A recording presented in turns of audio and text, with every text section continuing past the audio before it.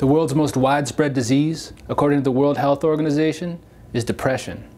There are medications and therapies that can treat it, but if you've tried those and you're still battling, know there's another treatment available. It's called TMS.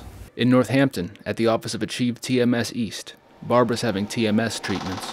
After the deaths of five family members in quick succession, her grief turned into depression.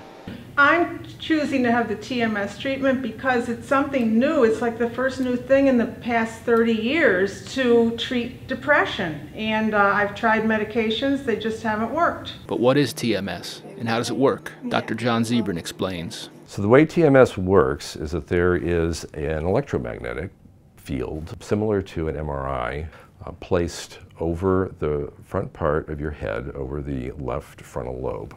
The pulses of magnetic energy that are put into the frontal lobe are at a stimulating frequency. It causes this uh, part of the brain to be more active.